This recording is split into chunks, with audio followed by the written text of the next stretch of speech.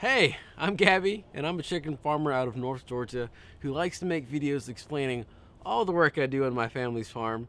And today's video is about cleaning out chicken houses.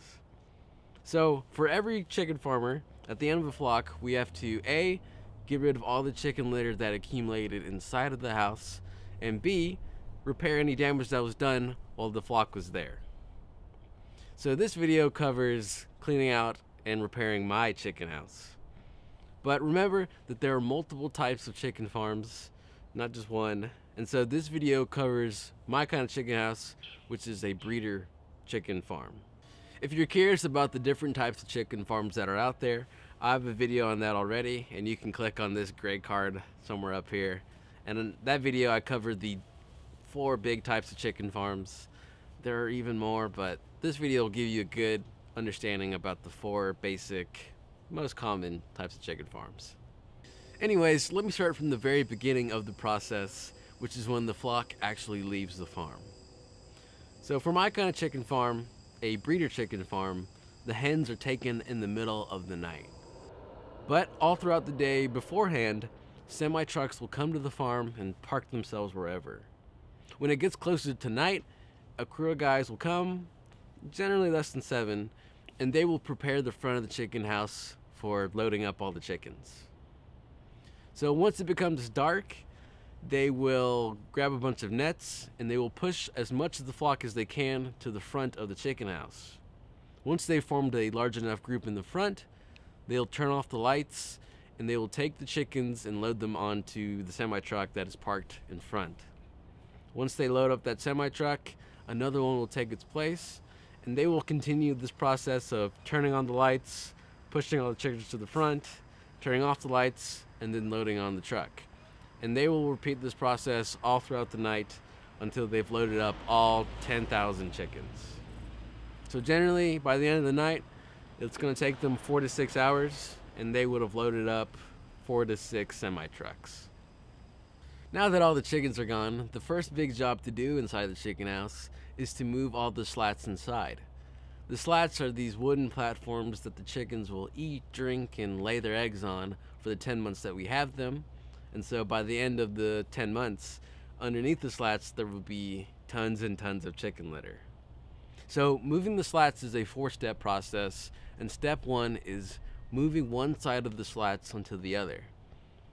Step one usually takes about an hour, and we will move a 123 slats by hand. But once step one is complete, heavy equipment can come in and scoop up all the chicken litter. Now, sometimes chicken farmers will, themselves will bring in their own heavy equipment and they will gather up all the chicken litter and spread it themselves. But in our case, we hired a professional cleanout crew who brings their own heavy equipment and they will remove all the chicken litter and spread it all around to whoever buys the chicken litter. Unfortunately, I don't have any footage of them removing the chicken litter, but I could still show you the process of cleaning out a chicken house. A bobcat will be the first scooper of the chicken litter, and they will primarily hang out on the sides of the chicken house. They're going to push all the chicken litter to the middle of the chicken house, where then a telehandler will scoop up that chicken litter and then drive backwards to the front. At the front of the chicken house, the telehandler is going to load up spreader trucks who are then going to carry it to the farmer who bought the load. In this clip, I'm driving the Bobcat after the cleanup crew had finished, and I'm cleaning up any residual chicken litter. So the next day after the cleaning crew had finished cleaning the right side of the chicken house, we went into steps two and three of moving the slats.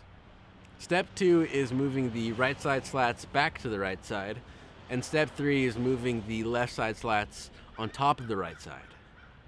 Generally, steps two and three are done on the same day. So as soon as we get done with step two, we're moving right into step three. So that means in about two hours, we're going to move 246 slats, and each slat weighs about 175 pounds. So in about two hours, we're moving 43,000 pounds of wood by hand, which is just a pretty good workout. So to move slats, there's generally a crew of people who are the primary slat movers, and behind them, there's going to be another crew of people who are taking the slat bottoms and the slat fronts and then placing them on top. So once steps two and three are finished, now the clean out crew can come back and clean out the left side of the chicken house. Once the chicken litter has been removed, step four can now take place, which is moving the left side slats back to the left side.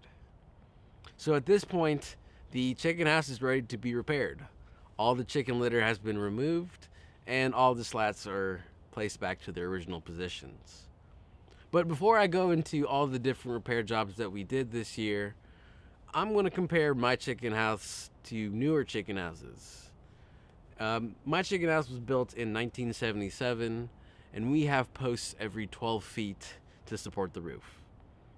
Most modern chicken houses, however, don't use that kind of design, and they use something called a clear span design, which means they don't have posts every 12 feet. A fellow chicken farmer of mine, a breeder farmer, sent me this footage of him moving his slats, and you can see that his chicken house doesn't have posts like mine, so he can use a bobcat to pick up his slats and move them to the other side. Note that his slats are 12 feet wide whereas my slats are four feet wide. So moving slats in a newer chicken house is a lot easier and faster than an older chicken house like mine. But anyways, thank you Hayes for sending me that footage. Now that all the chicken litter has been removed and all the slats have been returned to their original positions, we could then start to repair the chicken house. Generally, the first part of the chicken house that we start to repair are the slats. Now the term slats refers to not only the large wooden platforms we were moving earlier in the video, but also the sticks that make them up. These sticks are 3 quarters of an inch thick by 4 feet long. So first, we replace the individual slats, and then if we see any whole slats that are broken or, or sagging down, we will build new slats to replace them. In this clip, I am building a whole new slat using hammer and nails, and that'll take me about an hour. And I was using hammer and nails in this clip because my father was elsewhere in the chicken house building another slat with the pneumatic air gun. With the air gun, I can build a slat in 15 20 minutes. Another part of the chicken house that we repaired is the front right curtain.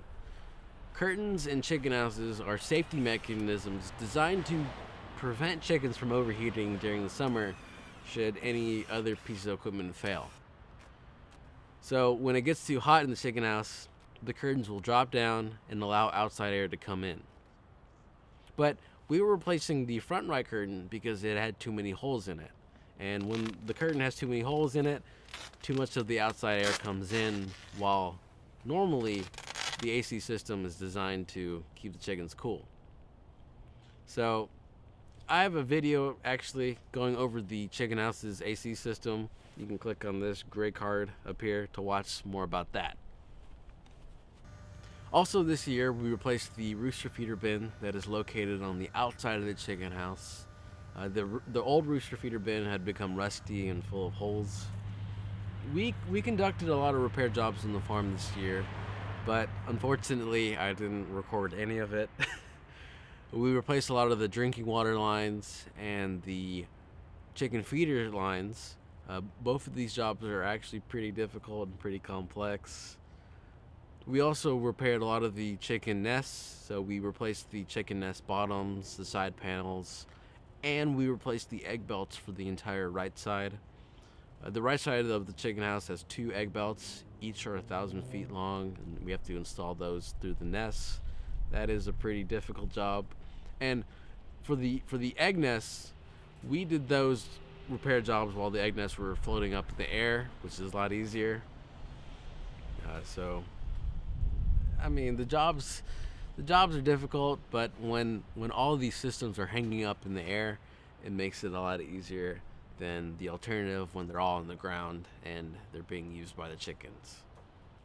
This year we were given two months to clean out the chicken house, which is a very long amount of time. The chickens left on September 30th, 2018, came back December 11th, 2018. Last year they only gave us two weeks, which is a very short turnaround, very difficult. But typically, when you're cleaning out and repairing a chicken house, the hardest part is repairing the chicken house because you could be repairing anything from the chicken house itself to installing new equipment to repairing old equipment. And I, I find that a lot more difficult than moving slats and cleaning out chicken litter. Also, during the clean out and repair process, we have something called the annual mouse hunt, where we go around and kill hundreds of mice with poison and BB guns. I have a video on that right here, and you can learn more about that the whole thing in this link. But also in that video, I go over my quest to find the perfect chicken farmer's BB gun for killing mice. But anyways, that's that's how you clean out a chicken house, a breeder chicken house. This only applies to breeder chicken houses. There are many different types of chicken farms. They have different clean out and repair processes that they have to go through. But anyways, thank you for watching.